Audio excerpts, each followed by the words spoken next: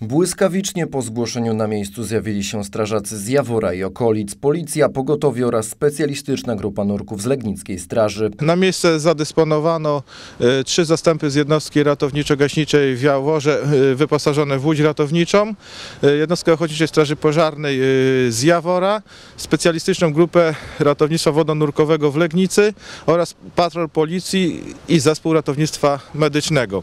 Po przybyciu na miejsce okazało się po przeszukaniu e, brzegu zbiornika e, nie znaleźliśmy śladów e, które wskazywałyby na to, że ktoś wchodził do wody lub skakał do jakiegoś otworu zrobionego w lodzie. Kilkukrotnie przeszukaliśmy ponownie zbiornik. Nie znaleźliśmy żadnych śladów, które wskazywałyby na to, że mógł ktoś wejść do wody. Na tym działania zakończono.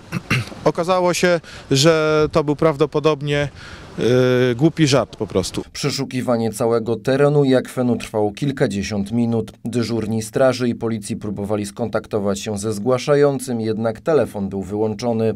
Po odjeździe strażaków na miejscu pracowali jeszcze policjanci, którzy ustalali szczegóły sprawy.